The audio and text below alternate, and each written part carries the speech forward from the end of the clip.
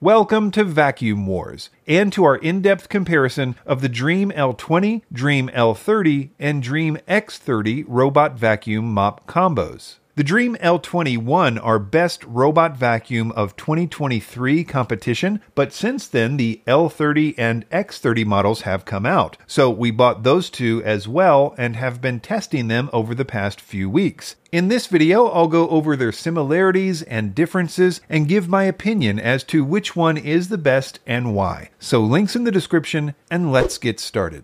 First, I need to talk about a somewhat confusing issue. The Dreame L30, not to be confused with the X30, came out after the L20 but before the X30 and is priced in the middle of the two. And for whatever reason, the L30 is no longer available on the Dreame website, and I don't know if it was discontinued or if it's just out of stock. So, though I will reference all three of these models in the video, right now it seems that the comparison that will matter the most to you is going to be the L20, the previous flagship, with the X30, the new flagship. Starting off with the things that they have in common, they're all able to do the same basic things that is, vacuum hard floors and carpets, as well as mop hard floors. They all use the same basic mopping hardware, which includes two spinning brushes, all three have something called Mop Extend, where the right mop pad extends to better reach edges of walls and corners, though there are some software differences here, which I'll talk about in a minute. They seem to me to be equally great with their mopping ability, which we tested a number of ways, like with a dried on coffee stain test and a dried on grape juice stain test, both of which they did equally good with. All three of them come with large docking stations that, in addition to automatically emptying the contents of their dustbins into an included bag when they return to the base to recharge, they also automatically wash and automatically dry their mop pads as well as refill their mop tanks.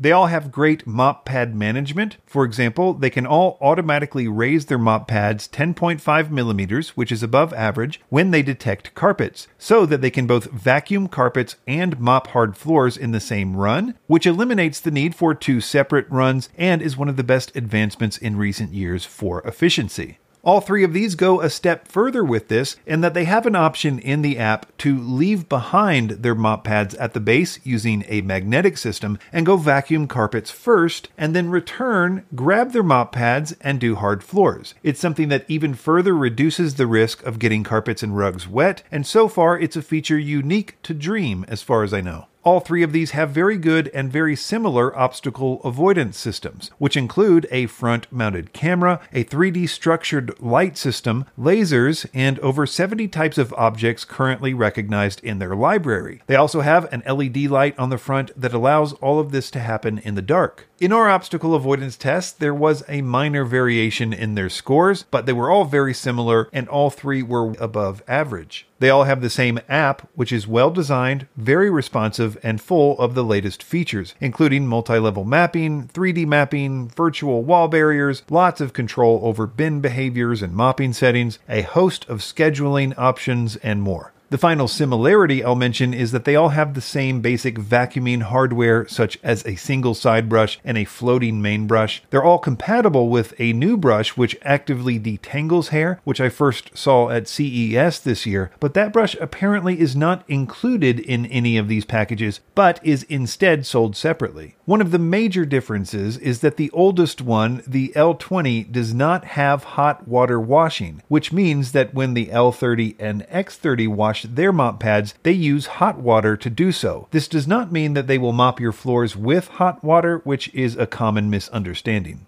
The X30 also has something called RoboSwing technology, which is a software based feature which swings the extendable mop pad in and out of tight spaces for better coverage, where the L20 just mops in a straight line. Another difference is the size and shape of the docking station. The X30 has a slightly more compact bin compared to the other two. The X30 also has a different detergent tank compared to the other two. It seems that you can use any kind of detergent that you want now, where previously you had to use theirs. Though all three have removable drip trays, which allow you to clean the area most likely to collect dirt and hair over time, the X30 also has a new automatic cleaning mechanism in the tray, which uses a mechanical motor and a series of squeegees to clean the tray for you. So it's one more step toward complete automation. Other hardware differences include a slightly larger internal dust bin on the X30 compared to the others, as well as a larger battery on the X30, along with a longer official runtime on low power. In our tests, the actual difference in runtime over all the power settings was negligible compared to the L20. In fact, the L20 had better overall battery scores than the X30,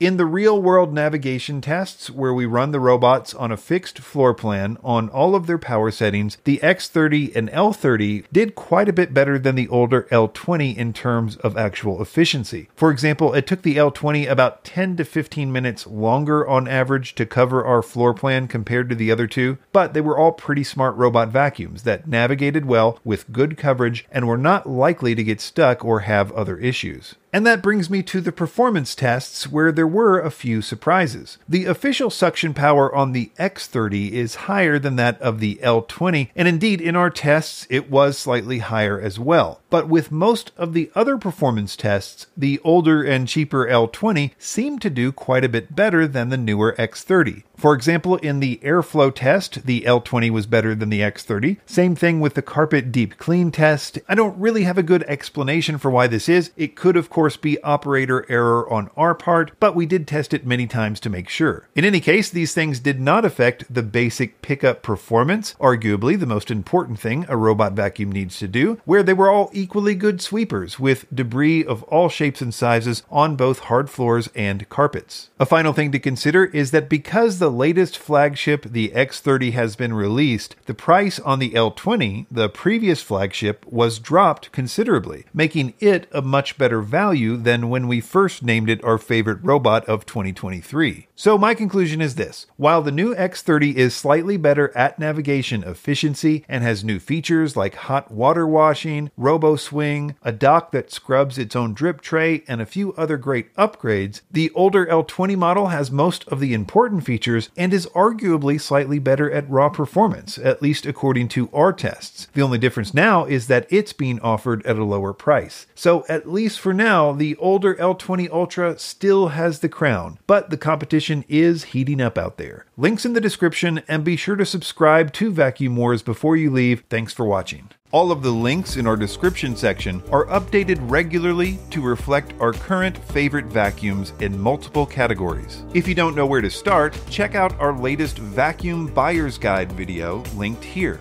You'll also find links to the vacuumwars.com website in the description where we post all the latest vacuum news as well as much more detailed top 5 lists in multiple categories.